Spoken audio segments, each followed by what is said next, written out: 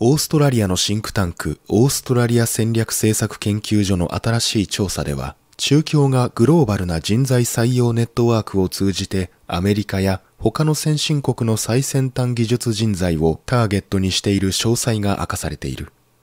この洗練されたネットワークは少なくとも600以上の求人、給食サイトで構成され絶えず拡大している。共産党はテスラやハーバード大学などの研究機関から科学者を勧誘するために利用している。北京は組織的なアメリカの科学研究窃盗を否定している。オーストラリア戦略政策研究所の報告によると、中共の人材採用の仕組みはほとんど知られていない。千人計画は中共の200を超える人材採用プログラムの一つに過ぎず、実際の人材採用プログラムははるかに広範である。これらの人材採用メカニズムには海外の科学者が中国本土で働くための好ましい条件を作成することが含まれている。当局はこれらの努力を人材誘致の手段とも呼んでいる。報告書は北京が海外の人材を採用するためにどのような努力をしているのか、共産党がどのように海外に出て人材を借り、おびき寄せたりしているのかに焦点を当てている。報告書は初めて科学者を募集及び情報収集する600の海外人材募集サイトを調査した。中共の千人計画及びその他の人材採用プログラムは世界中にある600の募集サイトによってサポートされている。オーストラリアのシンクタンク ASPI の新しい報告書によると、これらのリクルートサイトが最も多いのはアメリカが146、次いでドイツとオーストラリアが57、イギリス49、カナダ47、日本46、フランス46となっている。その他ニュージーランドやスウェーデンなども含まれていた。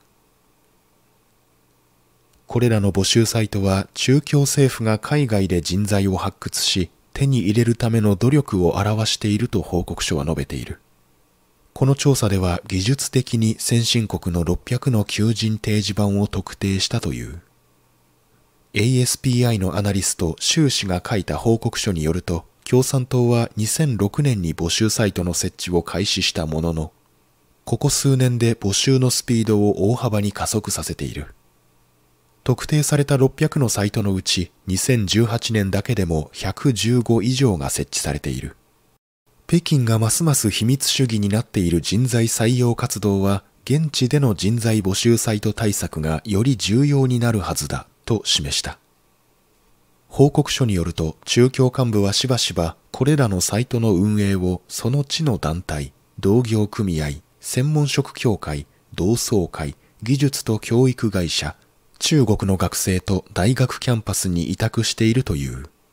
北京はこれらのグループに成果報酬として1人当たり2万9000ドル相当を支払い、また年間最大2万2000ドルを運営費として支払っている。報告書によると近年の共産党の人材募集プログラムの参加者に対するアメリカの調査により募集サイトの機密性が高まっているという。2018年9月、中国政府は1000人計画プログラムに関する情報をインターネットから削除し始め、より秘密性の高い募集方法を使用するよう組織に命じた。報告書にはリークされた指令書のコピーが添付されている。この指令は2018年9月29日に出されたもので、1000人計画青少年プロジェクト評価委員会中国国家自然科学財団プログラム局員という文言が署名されている。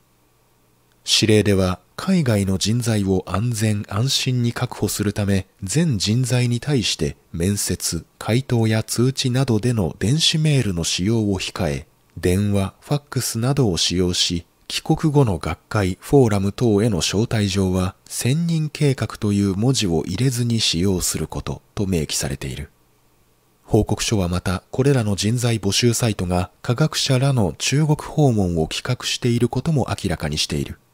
訪問した科学者らは中共の外国人専門家局や連合戦線工作部との調整を行うことが多い。中共の統一戦線工作部は海外の数千の組織と接触し、情報収集、技術移転の奨励、反体制運動との戦い、北京の他の目標への支持を集めている。